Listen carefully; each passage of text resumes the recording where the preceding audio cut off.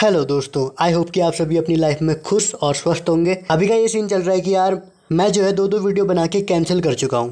पहली वाली वीडियो एक शॉर्ट फ़िल्म थी, जिसका टाइटल था साइलेंट किलर और ये फ़िल्म जोकर से इंस्पायर्ड थी, जिसमें मुझे जैकविन फिनिक्स की जो एक्टिंग है, गजब लगती है। बेस्टम बेस्ट लगती है। पर जैसे ही मैं इस फ़िल्म को रिकॉर्ड करने लगा, मैं खुद दुखी टाइप का होने लग गया यार। फिर मेरे मन में क्या जो आया, मैंने जितना भी सारा कुछ रिकॉर्ड किया था, सब डिलीट मार दिया। दूसरी वीडियो एक व्लॉग थी जिसमें बूबू आए थे और रैंडम चीज़ें डाली थी। मगर या तो मेरा फ़ोन ख़राब है या मेरी किस्मत। पूरी वीडियो एडिट होने के बाद गायब हो गई। मतलब खुल ही नहीं रही थी यार। गायब। तो अभी थोड़ी दुख भरी मेंटल कंडीशन के साथ मैं ये वीडियो बना रहा हूँ। जिसका टॉपिक है सिट डाउन कॉमेडी हाँ सिट डाउन कॉमेडी तो यार मैं सोच रहा था कुछ नया ट्राई करने का। मैंने सोचा कि अगर स्टैंड अप कॉमेडी हो सकती है तो सिट डाउन कॉमेडी क्यों नहीं हो सकती? नहीं, बैठ के तसली से वॉइस ओवर में कॉमेडी करने में कोई दिक्कत है क्या? नहीं ना? तो आओ यार, मैं शुरू करता हूँ अपने नए इनोवेटिव सिट डाउन कॉमेडी के आइडिया को। हाइट छोटी रह गई यार मेरी। नहीं, अभी है, अभी उगा हूँ मैं, पर पहले नहीं थी। पहले जब हम प्राइमरी में होते थे, छोटे बच्चे होते थे, अब आप लोग कहोगे प्राइमरी में तो सबकी हाइट छोटी होती है। सबकी हाइट ज़रूर छोटी होती है, लेकिन मेरी हाइट थी ही नहीं। लाइक प्राइमरी स्कूल में जब असेंबली होती थी ना तो बच्चों को ना इंक्रीजिंग ऑर्डर में खड़ा करते थे। तो आप गेस कर सकते हो कि मुझे कहाँ खड़ा किया जाता होगा। फ़र्स्ट लाइन में, ना ना ना ना, मुझे खड़ा किया जाता था प्रिंसिपल मैम के बगल में। मैम वॉज़ लाइक इस बच्चे को कुछ दिखता ही नहीं है। तो फिर मैंने भी कह दिया जो कहना था। मैंने कहा, मेरी हाइट छोटी है, अंधा नहीं हूँ मैं, पर मैं यार अभी खुश हूँ लाइफ में। हाइट छोटा होना मेरे लिए अब कोई इनसिक्योरिटी नहीं है, मुझे कोई खली नहीं बनना है यहाँ पे। मुझे ऐसे रात को सपना नहीं आता कि मुझे खली बन के अंडरटेकर कोई चौक स्लम देना है। आप सभी लोगों ने बचपन में क्रिकेट खेला होगा या फुटबॉल खेला होगा, और आप में से कुछ लोग अभी भी खेलते होंगे। लेकिन जब मैं छोटा था हम नहीं खेलते थे ऐसे गेम हम खेलते थे अपने क्लासिक गेम्स और अपने क्लासिक गेम्स का भी हीरो था चप्पल चप्पल।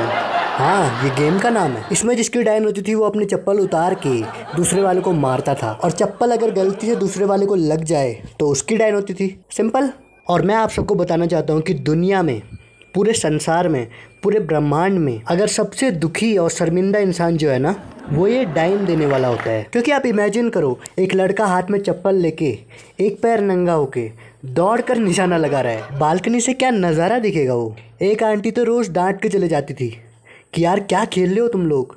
मतलब ऐसा भी नहीं कि एक ही दिन डांट रही हो। रोज़ डांटती है। किसको?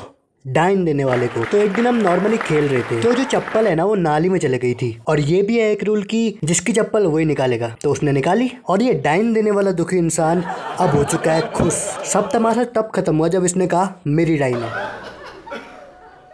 तो फिर इसने मेरी पीठ में टैटू बना दिया।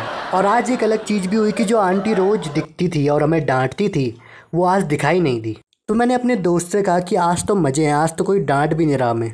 उसने कहा सुबह ही टैटू बनाया है मैंने मैंने कहा ओ ओ ओ।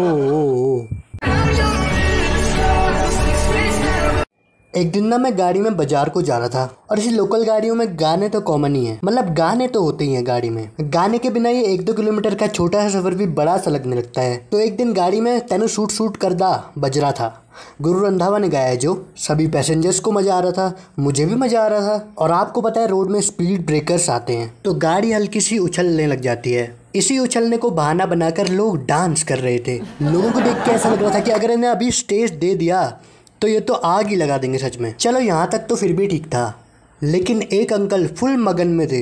देखो, एक मज़ा होता है, एक मगन होता है। ये मगन में थे, और मगन में इंसान अपने आप तक सीमित हो जाता है। तो ये तो फुल फॉर्म में गाने के साथ, लोगों से बातें कर रहे हैं, चिल्ला रहे हैं। क्यों भैया, आप भी करो डांस चिल्लाओ। इनके इस मज़े वाले पन को देखकर मुझे ऐसा आभास हुआ कि गुरु रंधावा ने ये तेनु सूट सूट करदा वाला गाना सिर्फ़ इन्हीं के लिए बनाया है, क्योंकि सिर्फ़ गाड़ी में ही नहीं, सूट हो रहा है। बाकियों को नहीं हो रहा भाई सूट। गाने से एक और चीज़ याद आई। मैं गाने स्पॉटिफाई में सुनता हूँ। हालाँकि मेरे पास प्रीमियम नहीं है पर बीच में ना ऐड आते रहता है कि प्रीमियम ले लो, मैंने कहा नहीं लूँगा। वो कह रहे थे, ले लो, मैंने कहा नहीं लूँगा। अगले दिन नई ट्रिक लेके आ गए। उनका ऐड आया। उन्होंने कहा प्रीमियम ले लो। मैंने कहा, नहीं। उन्होंने कहा, देखो, ऐसा है। हम बताते हैं आपको पैसे कैसे भरने हैं। यार, उसने मुझे पूरी डिटेल में बता दिया कि पैसे ऑनलाइन कैसे पे किए जाते हैं। उनके अकाउंट में। मैं यही सुनता रह गया यार। फिर एट दी एंड मुझे यही रियलाइज़ हुआ कि ये मुझे पैसे पे करना सिखा रहे हैं। मैं इन सबसे पूछना चाहता हूँ कि कहाँ बनाया था ऐसा एडवर्टाइजमेंट ये कौन से कस्टमर्स है जो इनसे अट्रैक्ट हो रहे हैं? मेरे को पता चला कि मेन बात पैसे कैसे भरते हैं वैसा नहीं है। मेन बात है खुद पैसे। भाई पैसे ही तो सब कुछ प्रॉब्लम है। इन्हें क्या लगा हम पैसे पे नहीं कर पा रहे हैं? क्या एटीट्यूड है यार? तो दोस्तों, आज की वीडियो के लिए इतना काफ़ी होगा। तो मैं इस बार एक गोल रख रहा हूँ हंड्रेड लाइक्स का। अगर इस वीडियो पे हंड्रेड लाइक्स आ जाते हैं तो मैं ये सेट डाउन कॉमेडी जो सीरीज़ है, मैं इसको कंटिन्यू रखूँगा। रखूँगा क्या? मुझे रखना ही पड़ेगा। क्योंकि देखो व्यूज़ तो आ जाते हैं hundred two hundred three hundred four hundred five hundred six hundred भी पहुँचे हैं। लेकिन लाइक्स कभी हंड्रेड तक भी नहीं पहुँचे हैं। इस वीडियो पर मुझे हंड्रेड लाइक्स चाहिए। प्लीज़ और दोस्तों please share subscribe and comment down below your opinions about this video इस वीडियो को देखने के लिए आप सभी का तहे दिल से प्रेम पूर्वक धन्यवाद say goodbye, cause this one may is forever.